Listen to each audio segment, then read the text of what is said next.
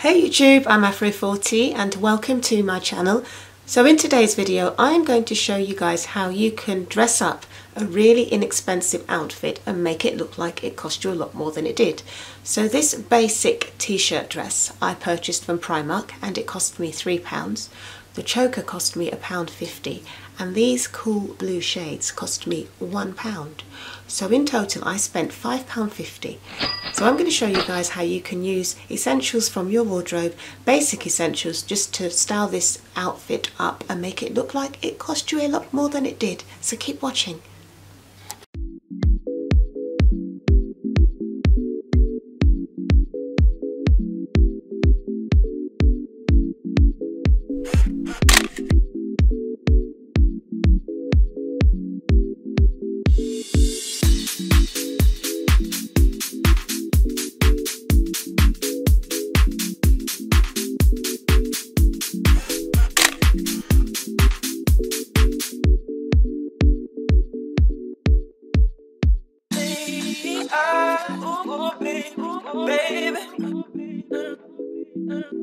No, in these eyes, will always protect you. Yeah, yeah. And it's these I, ooh, baby, baby.